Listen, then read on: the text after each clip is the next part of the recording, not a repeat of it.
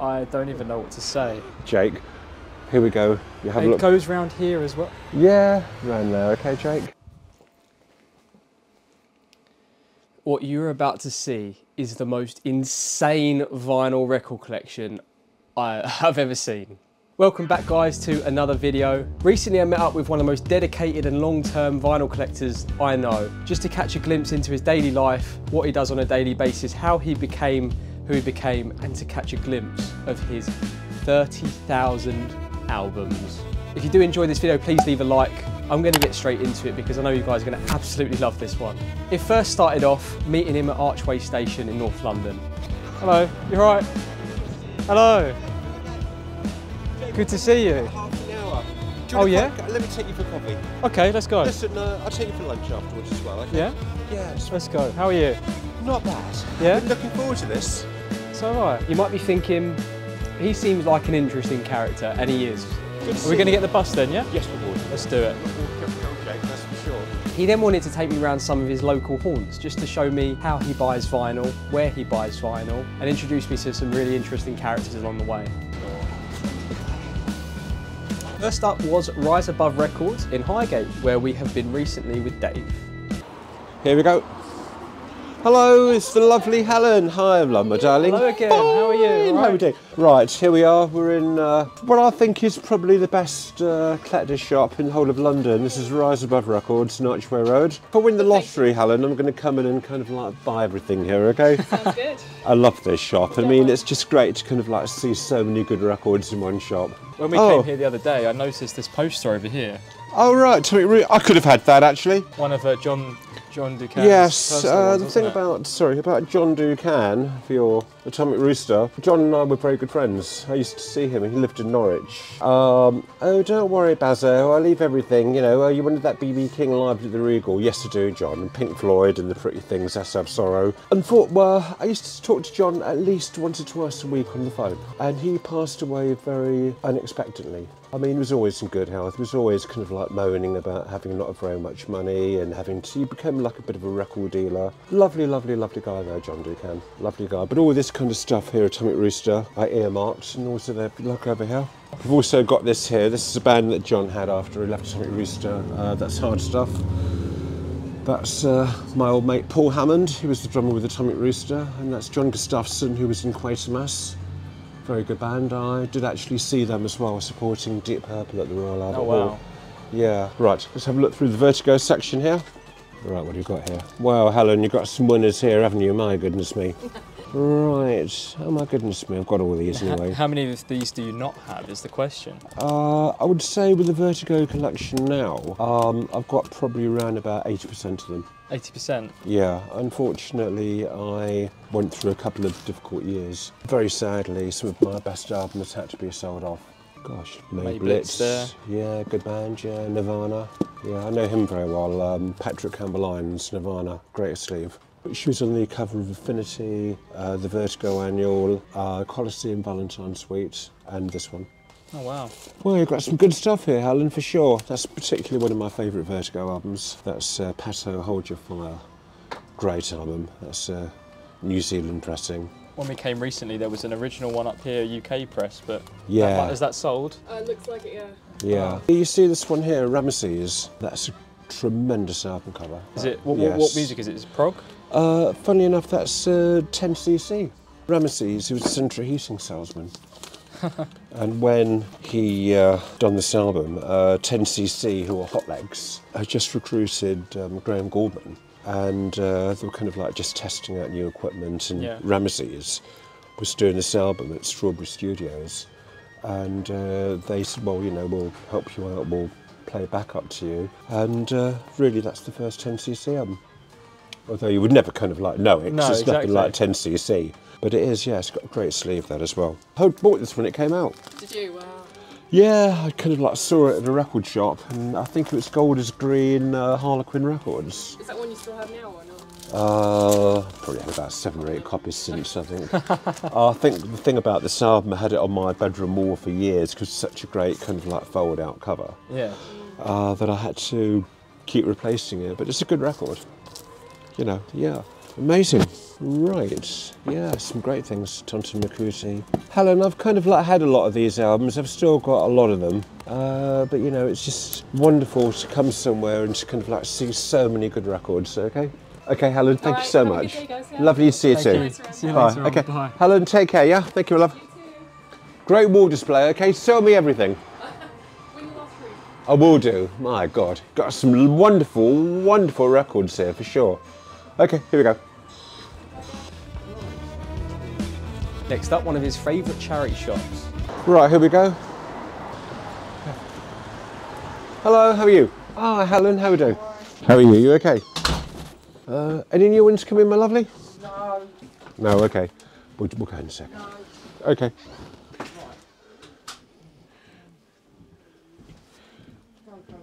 Okay. Uh, okay. Thank you, Audrey. Take care. Do you find charity shops quite hit and miss when it comes to finding good music? Oh, we'll talk about that in a second, okay?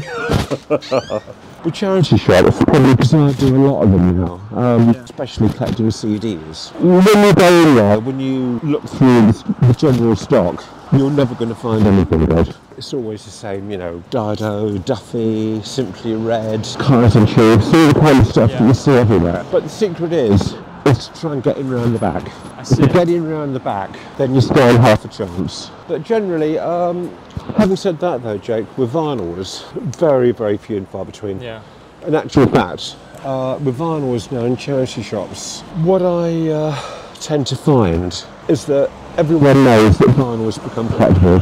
What's happening? They're all told, right, the expert's coming in or the man's coming in, somebody goes in, and I do believe they're just like trimming off all the good stuff. And when you browse through the racks, I mean, they are generally charity shop records. If I had them, I mean, I'd put them out for a bit. I wouldn't even put them out in the racks. I would just want like throw them away, put them in a bonfire. Yeah. You know, many times, nah, we've got the man coming in, we've got to look these up. And I mean, who stands a chance anymore? I think, you know, Jake, the only way that you're going to be getting, um, you know, good records is to uh, try and buy privately. With me, I've always been a collector for the real genuine reason that I do love music. We then went to Flashback Records in Crouch End. Me and Dave have explored the one in Bethnal Green. If you've not seen that video, I'm sure you'd love it. Right, we're going to go to uh, back to Marchway. You've got your bus pass? Oh, yeah, I can. Yeah. Yeah. Great. Then we're going to go to uh, Flashback, okay? Flashback. Great. Yes, great. Okay, fantastic. And then we'll uh, slowly make our way back to West London, come back to my abode, you can see my collection. Really? Yes, of course. Oh my goodness. Right, here we go. Crouch End already. No, we're just getting the number 41 bus to Crouch End. Okay, right. This, sorry, Danny. Right, Jake, this is uh, Flashback. Here we go. Uh, that's very expensive, actually. Jesus Christ. Oh my God. I mean. Okay, here we go. I'm just going to have a whiz through, see if they've got any uh, good records worth buying, okay?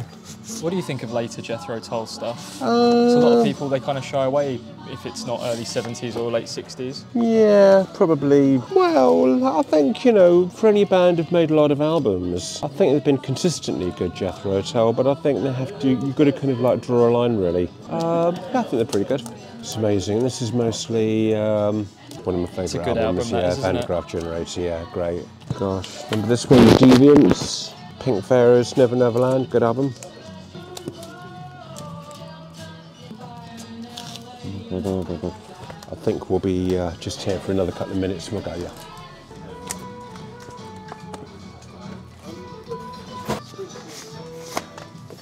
No, I think we're okay. Nothing here today for you?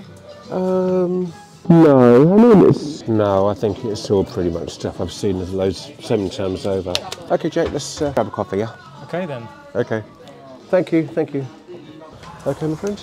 Oh, That was lucky. okay, thanks. Just Thank go to you. Hornsey. Uh, Now this next shop, I was very surprised to see some really cool stuff. I've never been there before. It was the little record shop in Hornsey. right, here we go. This is going to be definitely the last shop, though. Okay. Perfect. And then we'll head back to. We'll get a coffee in uh, Tufnell. Um, we'll go back to Tufnell Park. Then we'll go back to mine. Okay. Great. Hello, mate. How we doing? This is Dave. We're in the little record shop in Hornsey. Now, this is what I personally think is the very best shop in London. Okay, he's a lovely guy. Um, he looks after you when you come in, and he's always got great records. And what I love about Dave more than anything. That he always makes a great effort here to change his stock over. Okay, good luck through. Lovely words, thank you. I've And never it's been here, but I already see. I already see a couple of bits. I might have to have a look while we're here. Even Please Yes. do. You're welcome to look at Even though this is not- obviously Are these all your be uh, your che- these your cheapers? They're not. ac- These off. But, but these are um, those are unpriced, and they're from a hip hop collection which I haven't got into yet. So they're all hip hop. Right. Okay. But all the rest down here should be hit. That's not priced either. But all the rest down there are, are priced. Right. okay. But Okay. those are all fives. Those are all twos. Oh. Okay. Um, and those are all tens in there. Um, okay. What we've got here? uh, tens in there. Oh, okay. Thank you very much. And then there's a lot of fresh stock put out. I'm going to go and put my tea and sauce away. Oh my god. Okay, well, I've got to say this is an amazing shop. Okay, Dave, I haven't really got anything. Just a little. Don't worry. You know, a couple of ACDC albums and swaps. Do you? They always sell. They're cheap. can do, yeah. Well, I'll, see- I'll see what we've got in. Okay. Yeah. I see the five pound ones and the ten pound ones. Five pounds where um, young um, young Don is. Got my name. Right. Where's Young Don? And Okay. below young Don's five pound section, there's a two pound section just down there. Okay.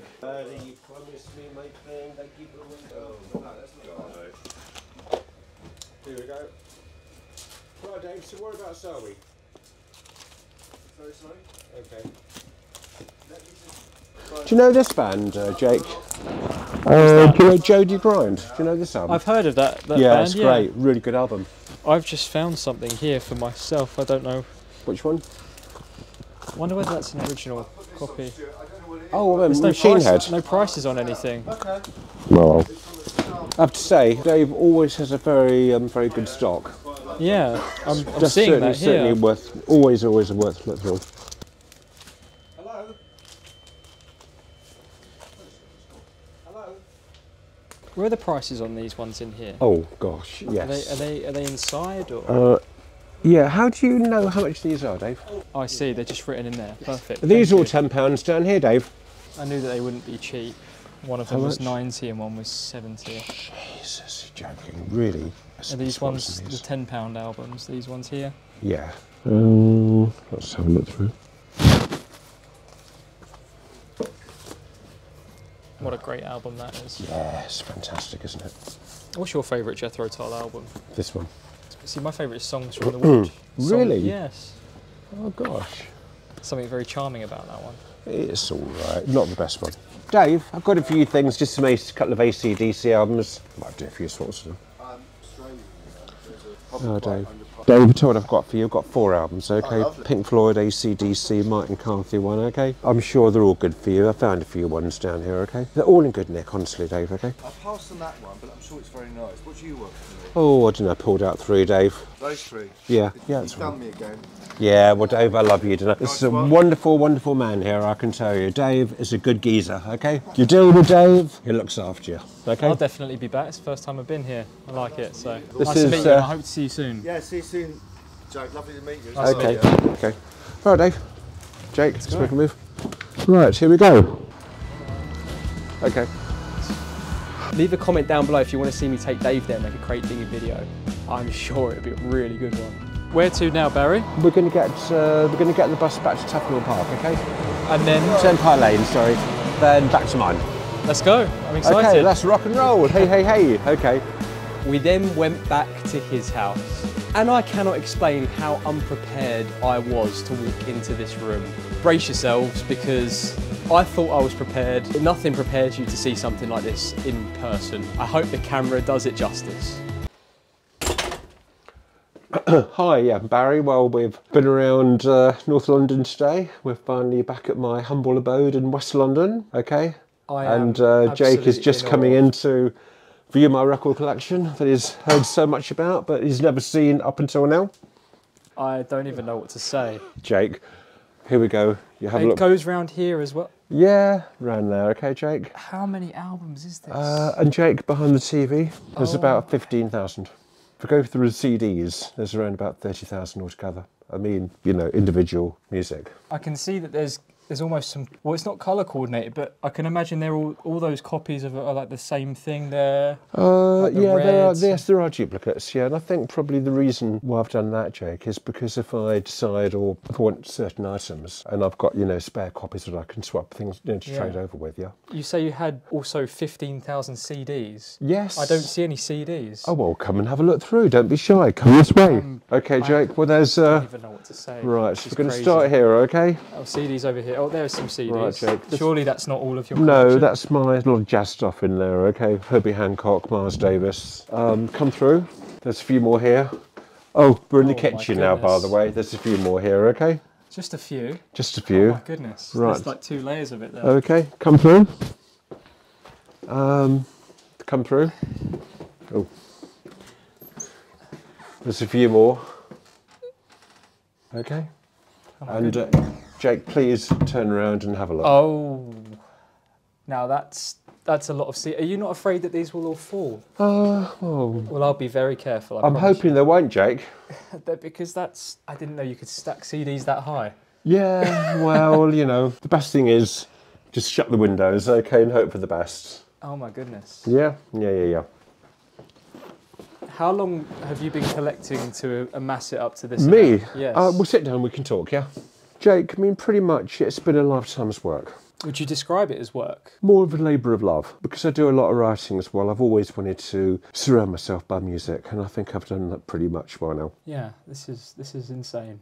When you see people accumulating, I mean, sometimes you could look at a collection like this, and you know, and amongst them, I've got a huge amount of the Greasy Truckers Party album, which was nearly collectible. I mean, that was one of the first albums which I remember, you know, being in demand. And I, when I've seen them around, I've always like picked up copies. And I think looking back on my life, and I think what we've spoken about before, Jake, to be really honest about things, I've never really found love in my life. I haven't got children, I haven't been married, and uh, it's something which has given me, you know, a real niche, and I love writing. Just finished off doing a book on um, Liberty United Artists, okay, and I'm now halfway through doing a book on the Charisma record label. The UA book was a little bit difficult to do. In fact, when I first started it, I thought it would be easier, but I went through and I thought, well, there's not kind of like, but in the end, I had to work in it, but we got there in the end. But I've done all these books, okay? I'm known in the industry as Mr. Vertigo or 10th Hour Bow, what other people have called me. That's my book here about the Vertigo record label, okay? Very collectible label now.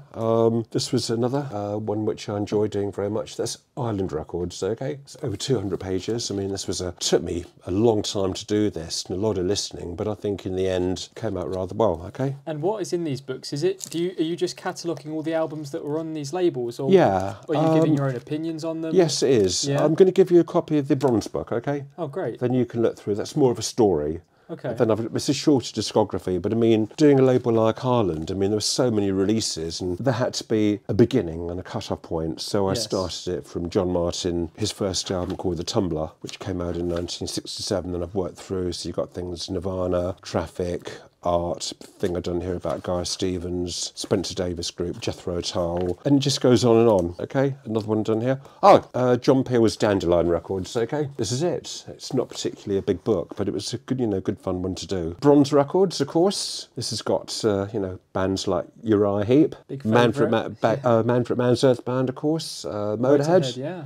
Yeah, I could tell you lots about Motorhead in here. It's some great stories. And of course, my beloved Girlschool. Great. This is a good little book, this one. Jake, there's a copy there Thank for you you. so much. I'm gonna have okay, a my friend. read Pleasure. this. And uh, that's the last one I've got at the moment, but there are two more coming, which I'll show to you when they're available. Uh, this is a thing here about the Harvest record label. Edgar Broughton Band, Pink Floyd, Deep Purple, Roy Harper, of course, Kevin Ayers. Again, you know, Electric Light Orchestra, lots of Grease Band, lots of very interesting uh, albums. And certainly this was one which I think was a great label at the time as well. So, well certainly one of my favourite labels. Great covers, very good hypnotic sleeves and things, Hipgnosis sleeves. Yeah. And uh, brilliant. So as long as there's an interest in uh, my work, I'll just continue doing it for as long as I can, Jake. That's great. And I loved it. If someone wants to get themselves a copy of one of these, where can they find Uh, they can uh, Google me, okay? Barry Winton? These are done as a labour of love, okay? Yes. I don't make any money out of them. If I can just, all I do is just recoup my costs because I've done it primarily to put the love of the music across. Okay, well,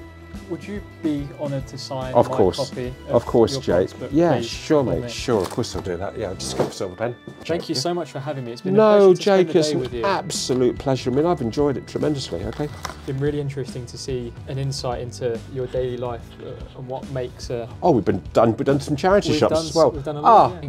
yeah. We've been to uh, we've been to three today. Okay, we've been to um, Rise Above. It. We've been to um, Dave's. Been very good. The little record shop and Flashback. Three very interesting shops. And I think for me, I would just kind of like like to have the memories, and I have got the memories. And I think you know that is just a great thing uh, that I've always had.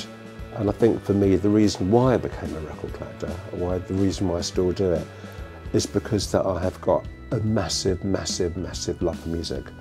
And it's never to me been about money. It's always been about the enjoyment that music's given me and the love of, you know, the reason, you know, the reason why I still do it and all the great memories of going to all these places. How about Silas, Jake? Hang on. Thank you.